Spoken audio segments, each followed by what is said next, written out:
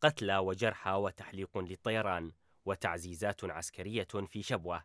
المحافظة التي شهدت تصالحا وهدوءا نسبيا بعد تعيين محافظها الجديد.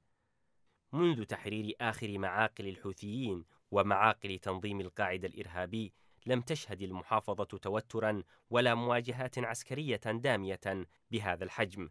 فبعد أربعة أيام من لقاء قيادات في النخبة الشبوانية المدعومة من الإمارات بقيادة المجلس الانتقالي أداة الإمارات في عدن اندلعت اشتباكات في شبوة بين قوات النخبة الشبوانية وقبائل السادة في هجر مرخة أهالي قرية هجر تفاجأوا بهجوم قوات النخبة الشبوانية المدعومة من الإمارات فجر الجمعة بحجة البحث عن أحد أفراد تنظيم القاعدة ما دفعهم للرد دفاعا عن أنفسهم.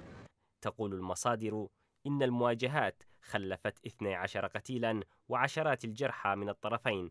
من بين القتلى جلال بن عجاج قائد قوات النخبة الشبوانية محور بالحاف المواجهات توقفت بعد نجاح وساطة قبلية مساء الجمعة غير أن استمرار تعزيزات قوات النخبة بعد الوساطة كاد أن يودي بالهدنة ويعيد الاشتباكات لولا تدخل وزير الداخلية الميسري بتشكيل لجنة لاحتواء الأزمة والإشراف على وقف إطلاق النار.